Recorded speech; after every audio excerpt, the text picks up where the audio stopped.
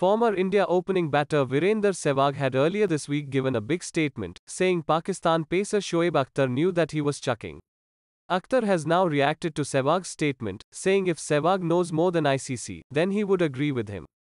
The former Pak pacer also requested Sehwag to be cautious while making such statements.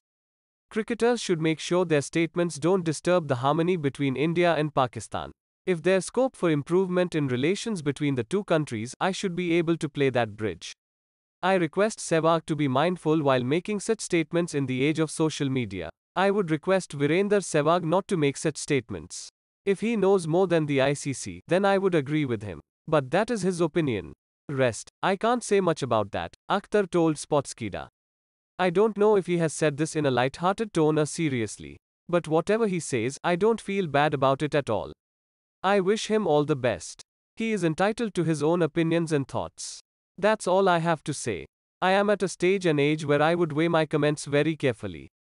I would not make any statement on any player who has played at the national level, which hurts that person's reputation in any way, he stated further. Overall, Sehwag has scored 8,536 runs in 104 tests. He has also played 251 ODIs, scoring 8,273 runs while in 19 T20s he has 394 runs. On the other hand, Akhtar played 46 tests, 163 ODIs and 15 T20s for Pakistan. Across all three formats of the game, he scalped 444 wickets.